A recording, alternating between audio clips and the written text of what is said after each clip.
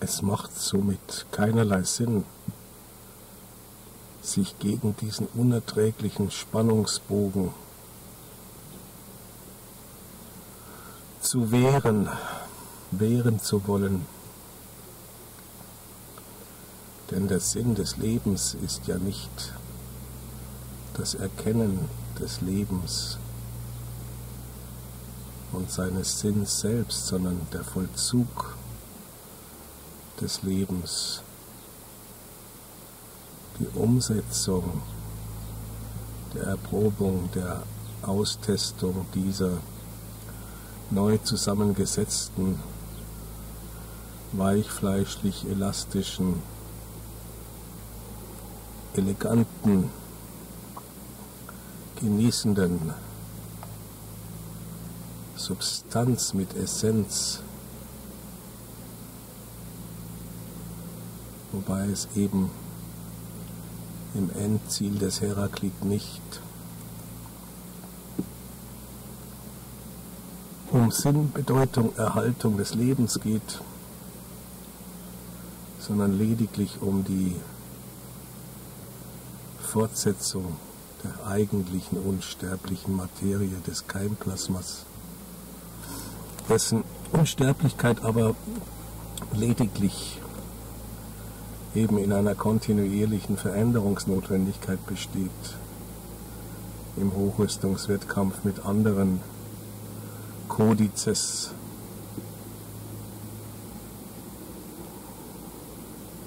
sodass dieser Wechsel von phänomenaler Erscheinung von Körpern, von Trägersubstanzen und dann wieder verschwindenden, lediglich virtuell vorhandenen, Codes entfleischlichten,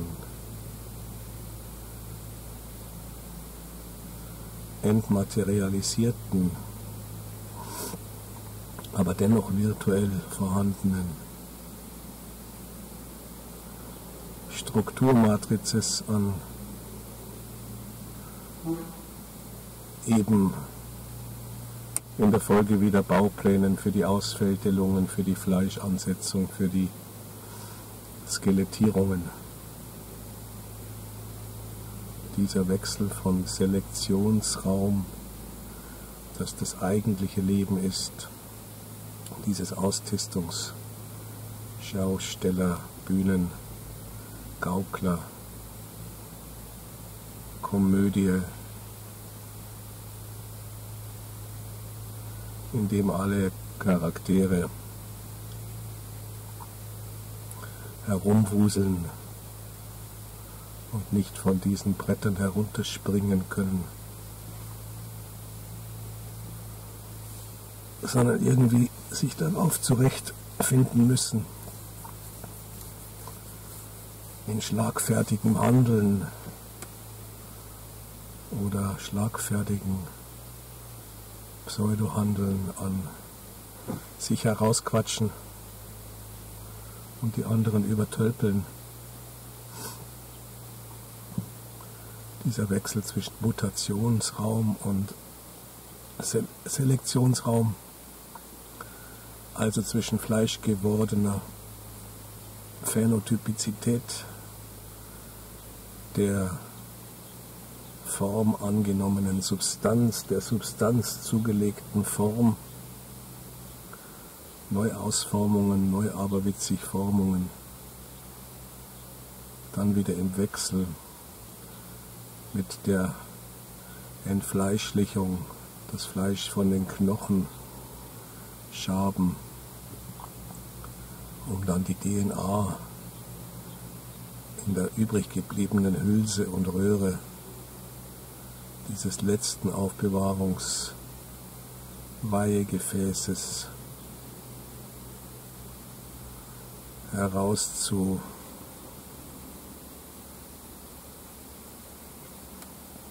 zentrifugieren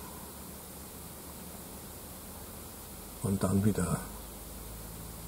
mit anderen zu rekombinieren da das einzige Ziel des Lebens nichts anderes ist als die kontinuierliche Rekombinatorik alles dessen, was mit anderem sich nach bestimmten Wahlverwandtschaftsregeln verstopseln und überkreuzen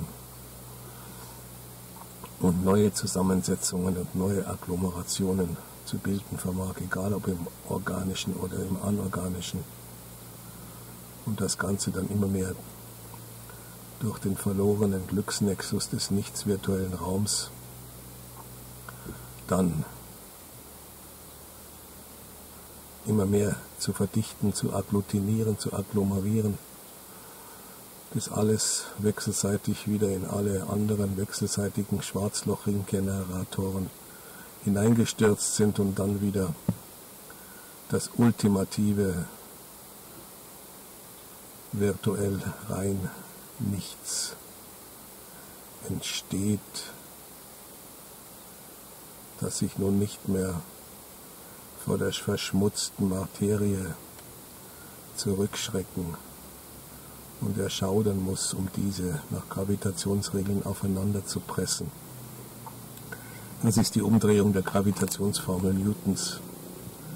das allerdings den gleichen Gesetzlichkeiten gehorcht, nur wird hier nicht gezogen, nicht angezogen gemäß Massenprodukt, sondern zusammengedrückt gemäß Produktmassen, Gesetz und Abstandsquadrat